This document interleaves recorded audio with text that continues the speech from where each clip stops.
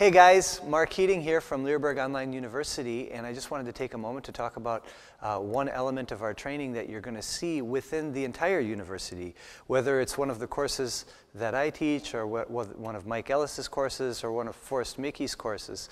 Uh, you're going to see something that is a constant throughout all of our training, and that is something we call touchpads. So here's, a, here's an example of a touchpad right here in, uh, in our relationship. Oops excuse us, in our relationship games course, this is called Find Your Spot. So, uh, what we got here is we have Jeff and his little puppy who he's had for one week. He's, teach, he's taught the puppy a few different behaviors. He's going to be demonstrating how we initially teach this game, this little behavior. Again, we call it touchpads. And we, we start it by luring. Okay, so while Jeff is doing this, I'm just going to talk about some of our possibilities with touchpads. Okay, so go ahead and take over, Jeff. Good. Yes. Good. So you can see just a very basic lure. Yes. So the puppy is actually right now also not only learning to get on the pad, but he's also learning to stay on the pad.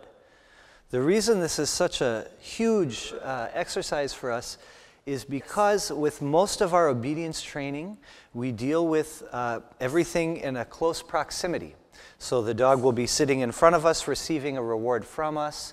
Uh, the dog will be maybe lear learning heel positions or recall positions. Everything is associated with us as the handler. When we're talking about a touchpad, the, the puppy here is learning that in order to get the food from the handler, it needs to go to the touchpad. So you can see if you've taught your dog several behaviors, it's going to be trickier to teach a touchpad. So we like to do it first. Like one of the first things we teach the dog. Yes after we teach marking. Down the road, we can use this touchpad for several things. Uh, personally, I use it a lot for uh, what we call rear end awareness, which is teaching the dog that if he were to, uh, right now, if Jeff were to just pivot a little bit, you can, can, can you do that? Yes. So you can see the dog now, he moved a little bit of his rear end one direction, and Jeff immediately marked.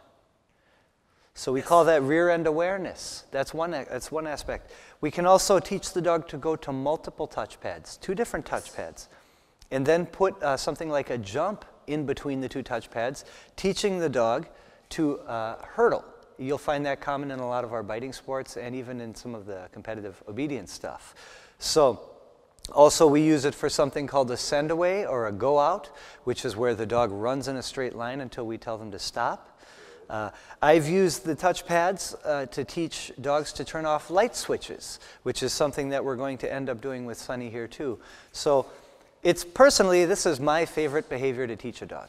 Uh, that's one of the reasons we included it in, in uh, the course that I do, relationship games. But it's for me the most versatile of all of the exercises that I can teach the dog in the way that I can use the touchpad to accentuate or embellish many, many other behaviors that I'm also working on. Yes. And you can see here again, it all starts with a simple lure. Will you lure him up one more time for us, Jeff? So he'll lure the dog on. Yes. And reward him off. He says yes, and, yes. The, and the dog jumps off and gets a piece of food. Touch. Yes.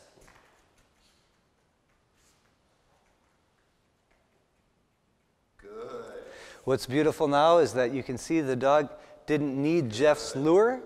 It also didn't require Jeff to give the dog the touch command. The dog is in a state of offering behavior, which means for us, he is initiating our training conversation, which is a very good thing. Touch. Yes. Touch. Yes. Good boy. Touch. Good.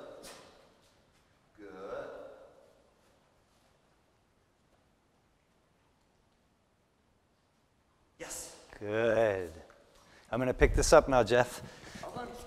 We always want to make sure when, we, when we're done with our touchpads that we take it away because uh, absence makes the heart grow fonder. How about that?